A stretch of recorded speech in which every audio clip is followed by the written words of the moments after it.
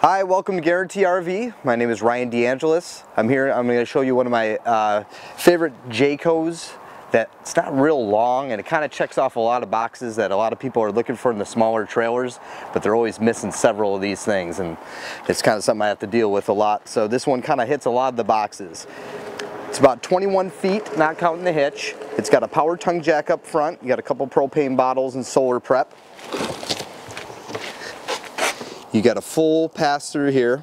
You got a, but it's also a T shape. So you got all that storage underneath the bed there too. It's a huge outdoor pass through.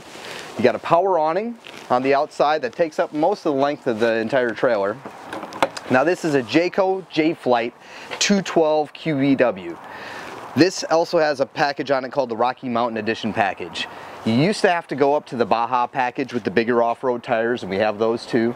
They flip the axles, they sit up a little bit higher, but not everybody wanted something quite that beefy. And But they did want the bigger water tank, which used to be part of that package. Now you can get a Rocky Mountain Edition package, along with a whole bunch of other stuff I'll show you. It comes with an additional 40 gallon freshwater tank. So you got 80 gallons of fresh water in a small trailer, which is pretty cool. This thing weighs 4,300 pounds so it's not very heavy. Tandem axle, that's another thing a lot of people are looking for a shorter trailer, and most of them are single axle. So as you walk in here, another one of those things that's missing in usually your trailers that are under 23, 25 feet is the walk around queen bed. They usually turn your bed sideways. Somebody's got to crawl over somebody to get out. You've got your same bed you have in most of these trailers with your closets on the sides, plugs on both sides, spot for a TV in here.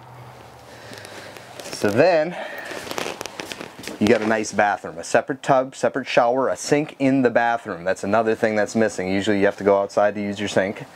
Uh, nice porcelain toilet in this one, medicine cabinet. Then you have your kitchen area. So what's the first thing that usually goes in the small trailers is they take your oven. So this has a full oven here, three burners on the range, nice split sink with the extendable sprayer, microwave with the exhaust combo. Another thing I, I always have to try to find one that has in a smaller trailer and it's difficult is drawers. So you got two nice full extension drawers in here. So that's more than most of your small trailers have.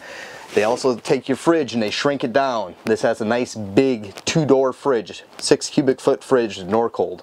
So the other thing that people kind of bothers a lot of people in the smaller trailers is there's only one place to sit besides the bed, and that's typically your dinette.